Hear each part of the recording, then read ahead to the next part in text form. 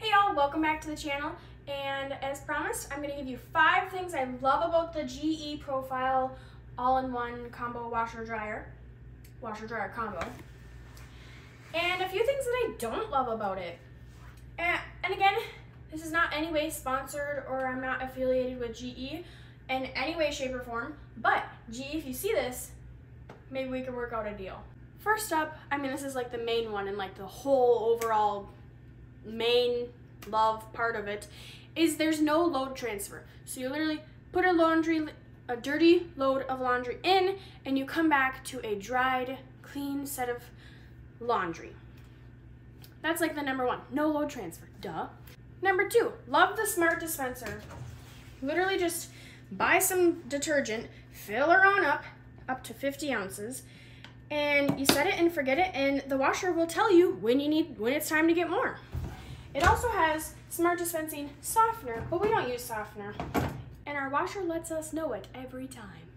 Third thing I love about this GE profile is the space saving. Hello, space saving. I have so much more room to put other stuff. We put a litter box on the other side where like a washer or a dryer would have gone. And honestly, I have no idea where we put would have put the litter box otherwise. So it worked out great for us. Love that this sucker only takes up this much space. Fourth thing I love is that it connects to your phone, which is probably like, I don't even know. I don't even know. Maybe that's like a standard thing for washer and dryers nowadays. I don't even know. But she connects to your phone, lets you know when she gives you a five minute warning when your wash is about, when the whole load is about to be complete, and then it tells you when it's done as well. And then also you can like track your energy usage and how many loads you've done and like check your detergent and softener on there. You can do all sorts of things with the app. So I like that it connects to your phone. If you haven't seen the app and you want a tour of the app, you can check out my previous video about my overall review of the of this wonderful appliance in my other video on my channel where you should subscribe. Another thing I love is the light. So when she's on and ready for you to load her up, there's so much light and ample light. There's so much light and I love that because it like helps me grab all the baby, socks and all the things that might be in there and make sure I don't miss anything. Now let's talk about what I don't really love about this thing, which isn't much. There's not much I don't love. First thing I don't love is purely on me. It's purely on who I am as a person. It has taken some getting used to to put something in here that has a stain that I kind of forgot about, and then it washes and dries, and then I come back to a dried, stained shirt or onesie or whatever. That has taken some learning to do where I just need to remember that there's something stained and I need to unclick dry and just wash them and then check it. That's on me. It's purely learning thing. I've totally gotten used to it though and it I got it down. Another thing I kind of don't like, and maybe this is all new washer and dryers, I have no idea because I've never had a brand new washer and dryer, um, but there's like a scent and I think maybe, I'm really assuming that all washer and dryers have scents when they're brand new.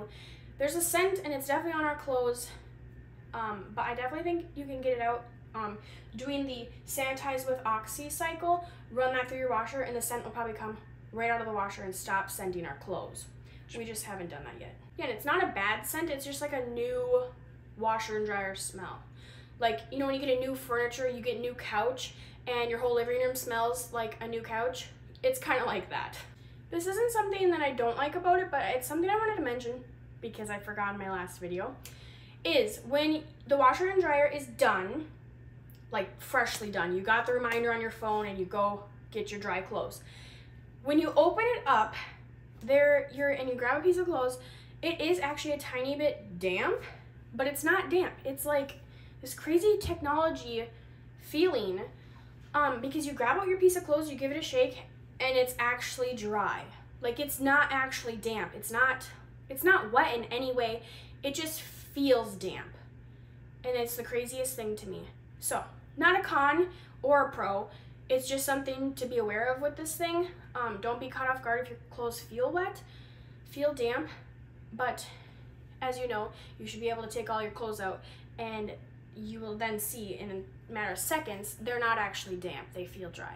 And it's just humid because of the heat pump, so it's like I don't know, your body being outside on a humid day. I don't know. Not so much.